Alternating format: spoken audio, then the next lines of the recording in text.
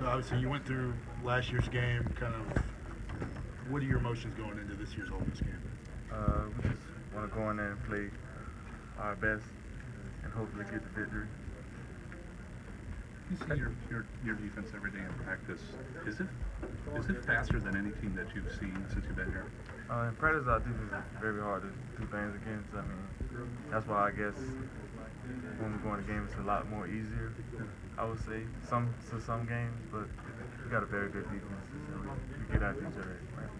Calvin, you think Jalen showed some of the arm talent that he has on Saturday? I think he's a lot more than just a running quarterback. Yeah, I mean they got really we got really good quarterbacks and Jalen and Blake. I mean they both got strong arms that people didn't know, but uh, Jalen can run and throw. And uh, yeah, I've been in practice. He makes good throws, deep throws. So I know he has the arm. He's pretty good. How long does it take for the receivers and the quarterback to get the timing down to some of those deep passes? Uh, just not that long. We go routes on uh, in practice. We throw pretty. We throw some deep balls, and I guess that comes when we do that in practice. So. Is it different though in the game? Obviously, I mean, you got pressure coming at the quarterback, and you know timing can change. Uh, I mean, it's just just like practice. I mean, I'm going against a one-eyed DBs and he throws a deep ball and I make a play.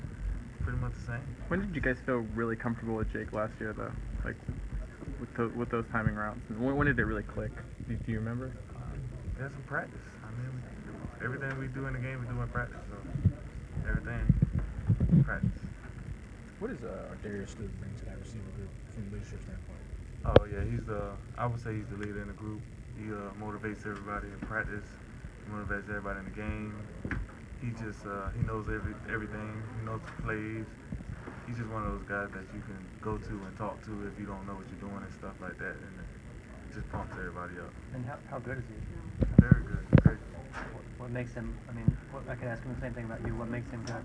Uh, well, I call I call Stu a running back. He's very he's very physical. He's a guy that get really get after every- anybody, linebacker, D lineman. So and he got great hands, vision. He's fast. He's got great ball skills. So I, I really he really get after. Nick talked about uh, West Kentucky really loaded the box. It kind of left a little bit of one-on-one, maybe one-on-two situations for you. How were you able to kind of take advantage of that uh, last week? Uh, I just I just did whatever the coaches called up, made, made plays to help my team win. How long have you been calling ArDarius a running back for? Or how long have you felt that he look like a running back? Uh, since I got here, I mean, I ain't say he look like a running back. I just like when he gets the ball, he runs so hard. So like he just runs guys over and stuff. So I was like, God, he just look like a running back. Bro.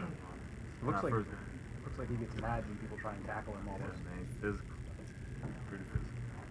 As a receiver, what what's is there any challenge to the RPOs, knowing you may or may not get the ball, kind of thing? Is there any?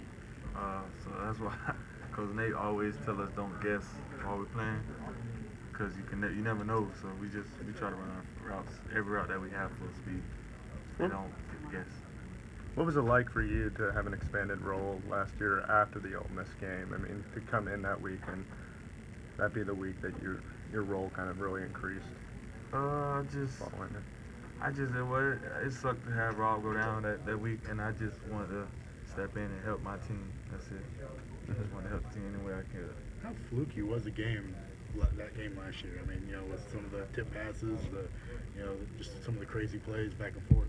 I mean, we couldn't really do nothing about that. Them guys played really good, and we we didn't play as good as we should have, but they, they they did their best, and we did our best, so they got the win. Do you feel like you outplayed them, if not for the turnovers, though, last year?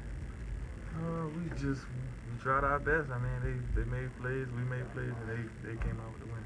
And the fans don't think y'all should ever lose. So how much do you hear about Ole Miss? Uh, not that much. I mean, Not that much? I don't try to look into it. I just go to game by game by game. and Just ignore this other stuff.